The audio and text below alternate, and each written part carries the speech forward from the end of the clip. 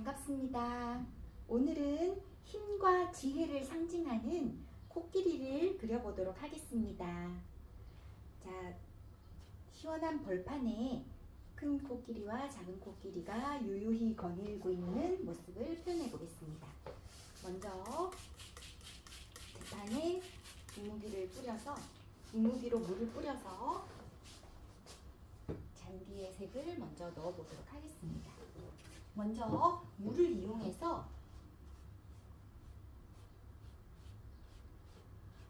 맑은 물을 먼저 이런 맥붓을 이용해서 넓은 붓을 이용해서 이렇게 칠을 해주시면 좀 더 자연스러운 번짐을 표현할 수 있습니다.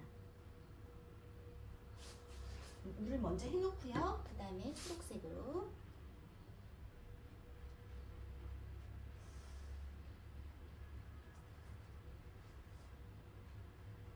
이 초록색 부분은 마른 다음에 다시 더 겹쳐서 할 수 있기 때문에 일단은 옅게 들어가시면 되겠습니다.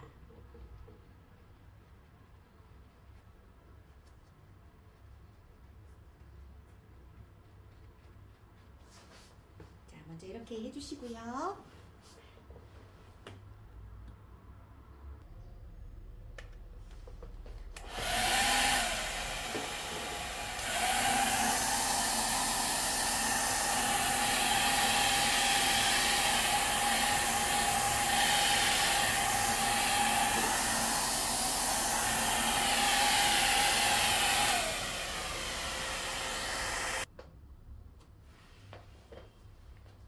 드라이기로 살짝 말린 다음에 코끼리 부분을 갈색의 느낌으로 들어가 보겠습니다.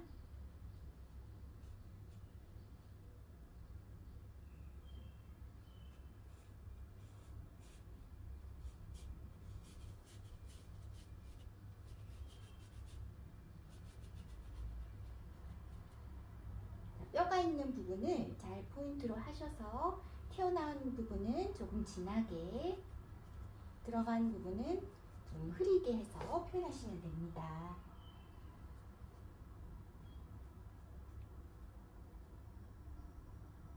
눈 부분은 일단은 하얗게 남겨두시고요.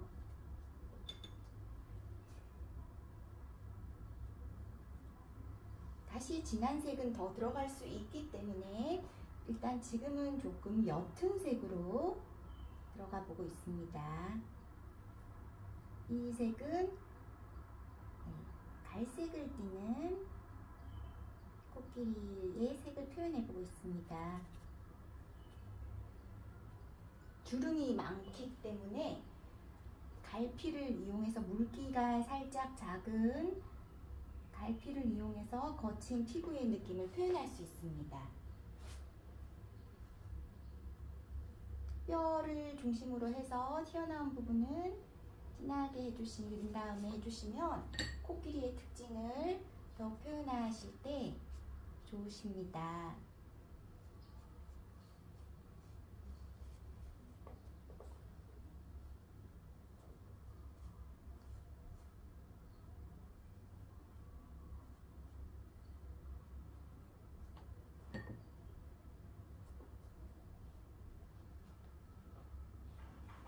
뼈가 있는 부분을 위주로 해서 먼저 짙게 들어가시고 붓의 뒷면을 이용해서 넓은 부분을 하시면 눕혀서 이렇게 하시면 옅은 색이 나오게 됩니다.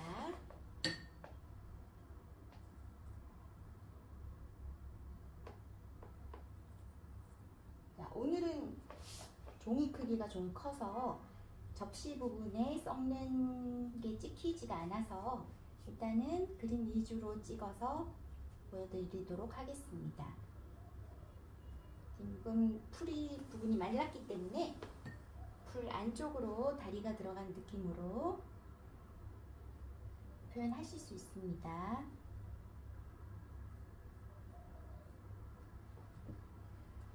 마르기 전에 연결되는 부분을 자연스럽게 그라데이션을 표현해 주시면 됩니다.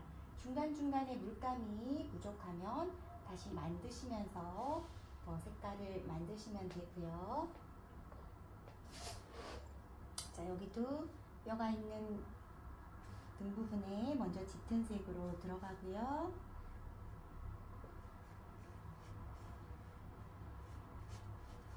공간을 표현하실 때 하얀 부분을 살짝 남기셔도 됩니다.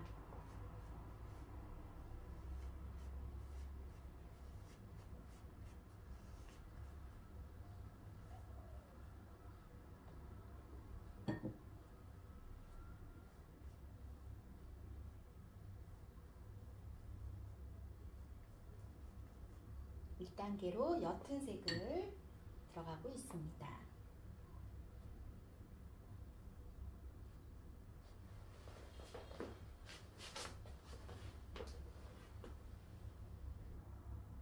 이제 큰 코끼리 부분을 들어가 보도록 하겠습니다.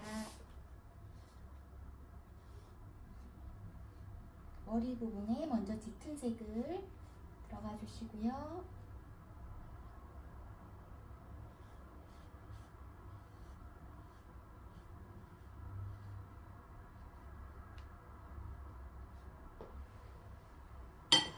전에 연결되는 부분들이 자연스럽게 연결이 될 수 있도록 해주세요.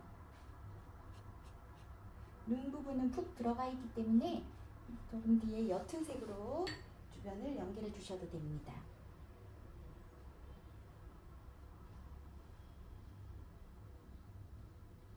자, 코 부분, 상하 부분을 하얗게 남기시고요.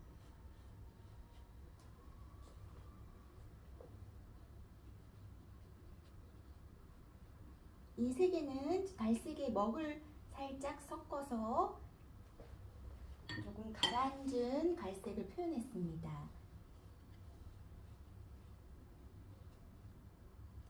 자, 눈이 들어가는 부분은 살짝 옅은 색으로 연결을 했고요. 다시 이제 귀 부분을 들어가실 때 또 먹이나 끝부분에 먹 같은 걸 섞어서 조금 선명하게 들어가셔도 됩니다. 귀가 넓게 펼쳐져 있기 때문에 귀 부분을 하실 때는 발목의 느낌을 많이 표현하실 수 있겠죠.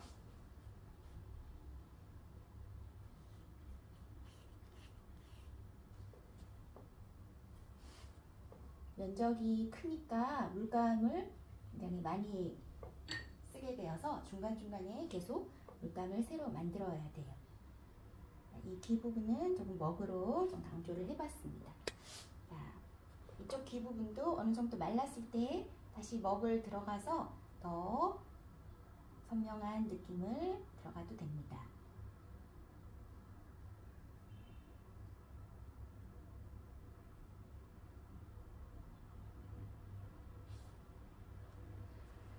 그리고 몸통 부분도 천천히 색을 들어가면 되겠습니다.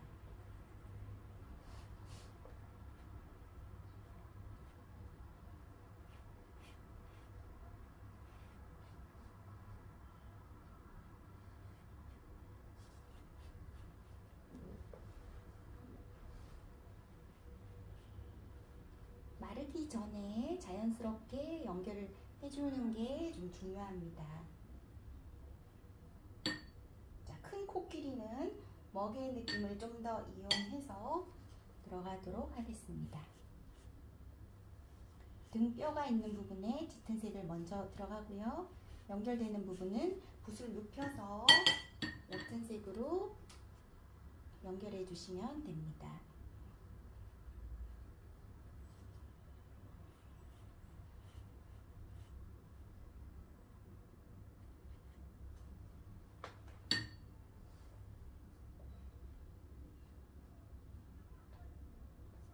일단은 기본적인 색깔들을 들어가 있습니다. 여기서 조금 말린 다음에 또 상세한 표현을 하도록 하겠습니다.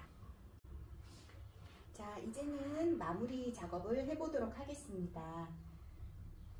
선을 위주로 정리를 하도록 하겠습니다.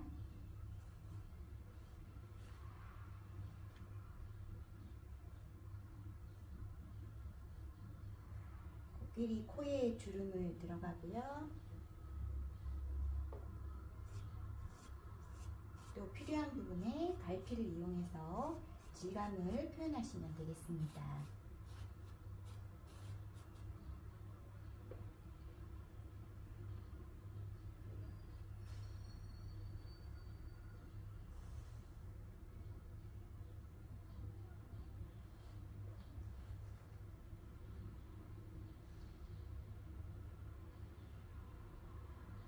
부분 주위에는 주름이 많이 들어있기 때문에 주름을 들어가 주세요.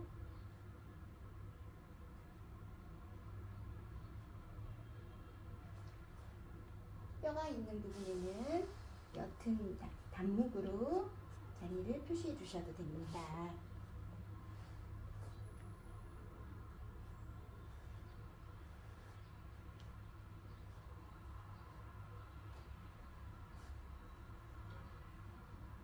자, 선을 그으실 때는 같은 굵기의 선보다는 선의 굵기를 조절하셔서 변화를 주시면 더욱더 좋습니다.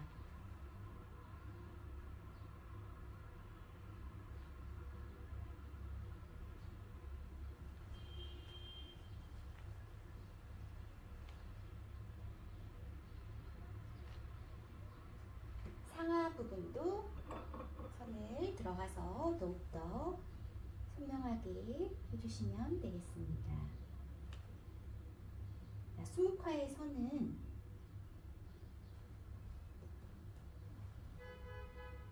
다양한 느낌으로 그을 수 있습니다. 수채화나 유화에 비해서 훨씬 더 풍부한 변화를 표현할 수 있어요.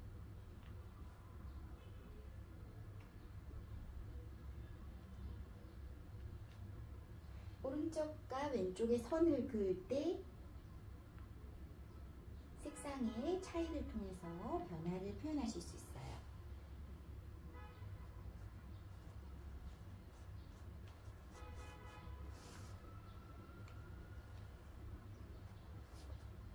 굵기의 변화를 통해서 풍부한 느낌을 표현해 주시고요. 그을 때마다 먹물을 찍거나 덜 하면서 빼주면서 변화를 표현하면 더욱 풍부한 느낌이 됩니다.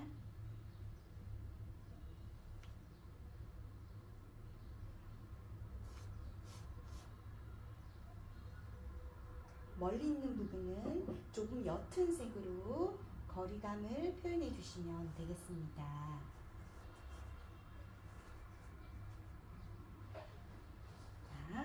그 옆에 코끼리도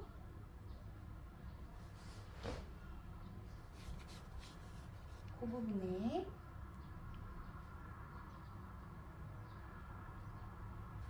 무늬를 들어가겠습니다.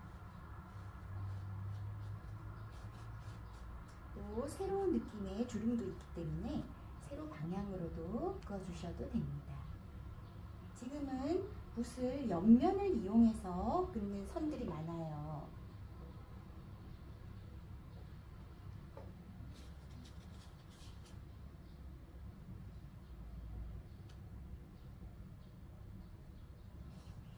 자, 뼈가 있는 부분에는 조금 선명한 선으로 그어주시고요.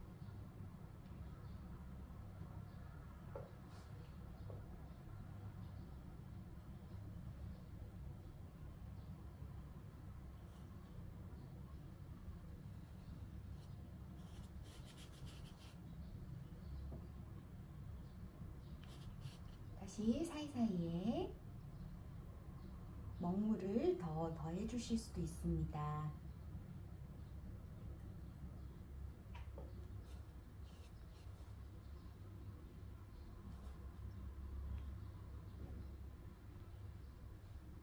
자, 강조되는 부분들은 선을 조금 진하게 그어 주시고요.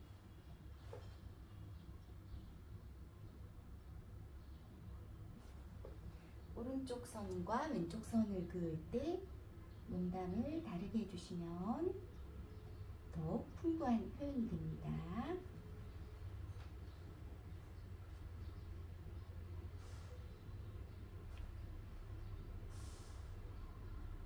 등 부분에도 자, 앞부분 다리에도 다시 한번 먹을 이용해서 손을 들어가 주시고요. 굵은, 굵고 얇은 변화를 통해서 다양한 느낌을 표현할 수 있습니다.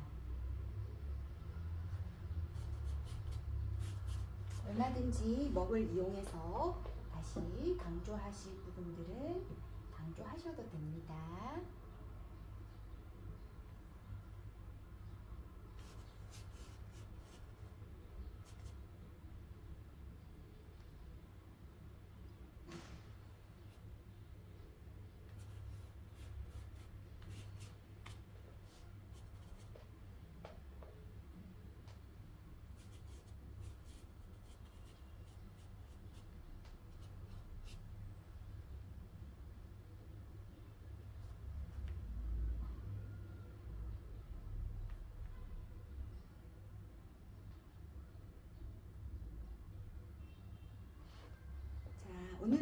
이렇게 힘과 지혜를 상징하는 어, 두 마리의 코끼리를 그려보는 시간을 가졌습니다. 오늘도 좋은 하루 되시고 네, 열심히 또 미술을 그려보도록 하겠습니다. 감사합니다.